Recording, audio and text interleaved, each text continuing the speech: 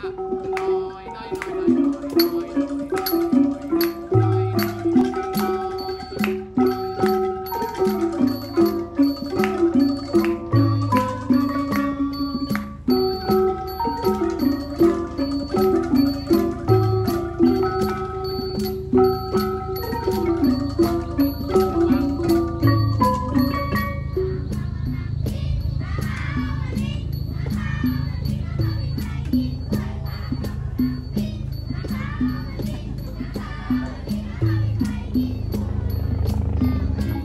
นี้คือเป็นศูนย์การเรียนของสิริรัตยาเนาะเป็นอันนี้เป็นการร่วมมือระหว่างมูลนิธิหลวงประดิษฐ์ กับบริษัทไทยเบสที่สนับสนุนเครื่องดนตรีมา แล้วก็ก็ส่งครูมาตัวเน็ตก็มาช่วยในการดำเนินการสอนอะไรนะครับ ก็ทำกิจกรรมอะไรเงี้ยครับเด็กๆที่นี่เก่งเป็นหลักสูตรพิเศษเรียกหลักสูตรวอร์ดอปอ่าเป็น Waldorf ของของที่นี่ก็เป็นหลัก Waldorf เราก็เอา เราเอาความรู้ทางดนตรีไทยมาประยุกต์ใช้ กับกับเด็กๆ Waldorf ที่เนี้ยแล้วที่นี่เขาพัฒนาการเร็วพอสมควรนะฮะคนนี้ก็ใช้ความรู้ทางด้านครูดนตรีอะไรมา พัฒนาผสมกับ Waldorf แล้วก็สอนเด็กๆที่นี่ให้กับเป็นตัวแทนมูลนิธิเนี่ยพูดง่ายๆนะครับมูลนิธิหลวงบดินทร์ส่งมาก็นี่เราครบหนึ่งปีครบหนึ่งปีไม่ถึงปีหรอกแต่ว่าเอาว่าปีการศึกษาโหน่าชื่นใจมากอ่าหนึ่งปีการศึกษา แต่ว่าจริงๆแล้วก็เรียนกันไม่ไม่ไม่ถึงปี เด็กๆก็เก่งอยู่ ดอฟคืออะไรวอร์ดอคืออะไรอ่าปุ้ยวอร์ดอเป็นการศึกษาอีกแนวทางหนึ่งค่ะที่เน้นเกี่ยวกับพัฒนาการของเด็กๆค่ะเราก็คือให้การศึกษาตามหลักพัฒนาการของเขาให้สอดคล้องกับวัยแล้วก็ครูปุ้ยดูแลวิชาอะไรอยู่บ้างครับ ดูแลวิชาดนตรีค่ะแล้วมีดนตรีสากลค่ะเป็นเด็กคุยเรคคอร์เดอร์ค่ะแล้แล้ววแล้ก็วดนตรีไทยนาฏศิลป์แล้วดนตรีของเราสอนยังไงครับวอร์ดอฟเนี่ยดนจะตรีมาขปอรับงเข้าประยุกต์เราก็ตั้งแต่ป .1 นะคะจริงๆ เราให้เด็กๆร้องเพลงตั้งแต่อนุบาลแล้วค่ะ แต่ว่าพอเขามาป .1 เนี่ยเขาก็จะได้เริ่มเป่าเรคคอร์เดอร์ค่ะ เป็นเป่าในเพลงที่เขาได้ร้อง มันก็จะสอดคล้องกันไปค่ะ แล้วก็พอป .3 เขาก็จะเพิ่มขลุ่ยไทยขึ้นมาค่ะป .4 อังกะลุงแล้วก็ป .5 ก็คือมาทำวงเพราะฉะนั้นเด็กตอนนี้ก็คือเด็กป .5 ใช่ไหมครับแล้วในนี้จะมีป .3 ป .4 ป .5 รวมกันอ่าซึ่งก็มีพื้นฐานของคลุยเรคคอร์เดอร์ร้อง เพลงอังกะลุงมาแล้ว คือเด็กที่นี่จะพัฒนาการเรื่องดนตรีมาตั้งแต่วัยวัยปฐมวัยเลย แต่อนุบาลเลย แล้วก็เท่าที่ผมมาสอนเด็กที่เนี่ยจะร้องเพลงไม่เพี้ยนเลยสักคนเดียวนะ จริง ๆ เป็นเป็นหลักสูตรที่ดีต้องมาก ต้องชมครูคนนี้แล้วจริง ๆ แล้วผมเห็นว่าดนดนตรีมันอยู่ทุกกระบวนการเลยใช่ไหมครับคือไม่ได้อยู่แค่วิชาเรียนใช่ไหมเออแทรกจะแทรกอยู่ตลอดเลยเนี่ยคือผมว่ามันมันเป็นตัวอย่างของการศึกษา ทางเลือกอีกทางหนึ่ง ที่น่าสนใจสำหรับสำหรับหลักสูตรหลักสูตรการศึกษาของบ้านเรานะครับ เรามุ่งเน้นไปทางวิชาการจนมากเกิน จนลืมความการพัฒนาการทางด้านจินตนาการ ทางด้านศิลปะ ทางการร้องรำทำเพลงอะไรของเด็กคือมันเป็นการเล่นผสมการเรียน ผมคิดว่าจริง ๆ แล้วอะเราควรจะมามุ่งเน้นกันทางนี้ให้มากขึ้นพอสมควรนะครับ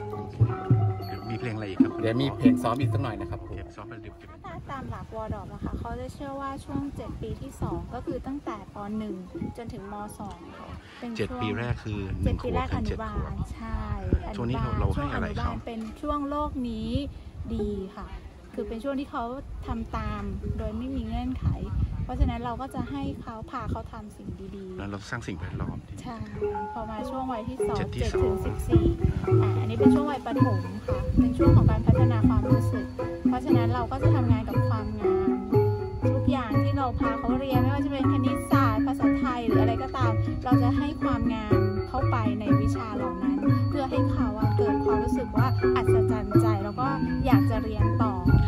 ที่นั้นดีดนตรีก็เป็นหนึ่งในความอัศจรรย์เช่นกันก็จะมีแล้วแล้วพวกวิชาการต่างๆนี่เราเราเราใส่เข้าไปหรือยังใส่ตั้งแต่ศาสตร์สังคมใส่ไปแล้วอืมแต่เราก็เลือกใช่เลือกให้สอดคล้องกับวัยเขาเพราะว่าเรารู้สึกว่าถ้าเกิดสมมติสภาวะสำนึกเขามันได้ประมาณนี้ ถ้าเราให้เกินไปเขาก็รับไม่ได้ ให้น้อยไปไม่เหมาะกับวัยเขาก็จะเบื่อแล้วก็ไม่มีความสุขกับการเรียนวัยแรกเราเรียกว่าวัยแรก สองคือโลกนี้งามไม่งามใช่แล้วก็ต่อจากเจ็นี้ดวัยช่วงเจ็ดปีที่สามค่ะ ก็คือสิบสี่ถึงยี่สิบเอ็ดเป็นโลกนี้จริงค่ะมีจริง ใช่อ๋อแปลว่าเขาก็จะได้เห็นอะไรที่ริง ๆ ซึ่งใช่ค่ะ ซึ่งบางอย่างเนี่ยเรายังกรองไว้อยู่ ใช่ค่ะ ยังไม่ให้กระทบ ใช่ เช่นเรากรองอะไรบ้างตอนนี้เทคโนไว้โลที่สองยีเพราะฉะนั้นเนี่ยเราก็จะหลบหลบๆมุมกันอยู่ ใช่เพราะว่าจริงๆเทคโนโลยีเด็กก็ต้องเจอ แต่ว่าให้ถึงเวลายังที่ไม่สมใช่คววัรยนี้ใช่ค่ะแล้ว แล้วก็ก่อนที่เขาจะเจอค่ะ เขาก็จะต้องมาเรียนรู้ก่อนว่ามันเกิดขึ้นยังไง อย่างเช่นคอมพิวเตอร์อย่างเงี้ยค่ะเขาต้องเรียนรู้ที่จะประกอบคอมพิวเตอร์ เรียนรู้เบื้องหลังว่าคอมพิวเตอร์มีที่มาที่ไปยังไง ประกอบขึ้นมาเป็นเครื่อง แล้วชุดคำสั่งที่จะใช้ใช้ภาษาอะไรอะไรอย่างเงี้ยค่ะไม่ใช่เรียนใช้อย่างเดียว ใช่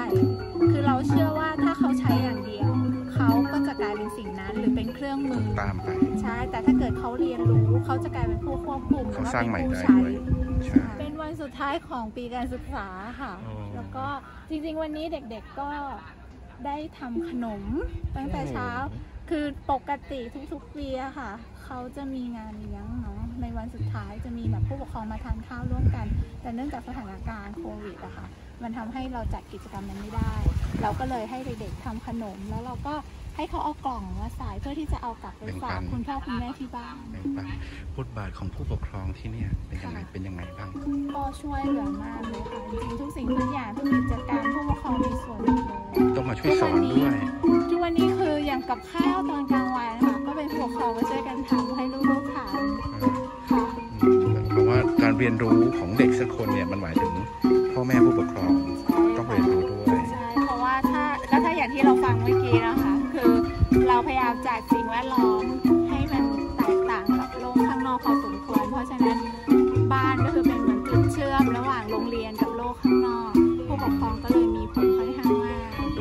เนี่ยให้เขา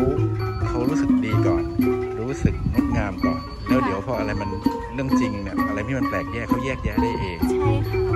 ยิ่งเรียนรู้สัมผัสความงามได้มากเท่าไหร่ สายตาเขาจะยิ่งละเอียดอ่อนในการแยกแยะข้อเท็จจริง แล้วก็หามุมมองความเป็นจริงได้มากขึ้นแล้วเขาก็จะเห็นด้วยว่าอะไรที่ไม่จำเป็น ใช่ค่ะอ่าซึ่งจริงๆเนี่ยช่วงสองวัยเนี่ยถึง 14 ขวบเนี่ยเทคโนโลยีเขาไม่ได้สิ่งเป็นไม่สิ่งได้จำเป็น ว่าวันแรกเนี่ยครูปุ้ยสอนอะไรนะเอ่อเพลงชวาใช่ไหมขลุ่ยใช่ไหมครับใช่ใช่โอ้โหวันนี้นี่เป็นเรื่องเป็นราวนี่ป .5 แล้วป .6 จะมีอะไรต่อครับป .6 ก็เป็นวงค่ะทำวงต่อไป